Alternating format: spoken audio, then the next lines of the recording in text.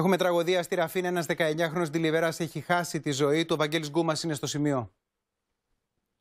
Καλησπέρα, Σπύρο, κυρίες και κύριοι. Όλα ξεκίνησαν λίγα λεπτά πριν τις 11 χθες το βράδυ. Ο 19χρονο Ντελιβερά μόλις είχε παραδώσει τελευταία του παραγγελία, όπως μας είπαν οι φίλοι του.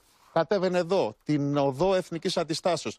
Όταν ένα αυτοκίνητο το οποίο βγήκε από την οδό Αθηνών, ε, σε εκείνο κινητό λοιπόν στο σημείο που βρισκόμαστε έγινε η σύγκρουση. Ο νεαρός έπεσε μόφυρτος εδώ, όπου, το, όπου βρίσκεται ο κόνος. Το βρήκαν οι φίλοι του. Το μηχανάκι σύρθηκε και χτύπησε πάνω στο πεζοδρόμιο, εδώ που έχουν αφήσει οι φίλοι του τα λουλούδια. Να πούμε ότι στην οδό Αθηνών υπάρχει ένα στόπ. Έφτασε στο σημείο αμέσως φτάσανε λοιπόν άντρες τροχέα οι οποίοι προσπαθούν να βρουν τα ακριβή αίτια του δυστυχήματος.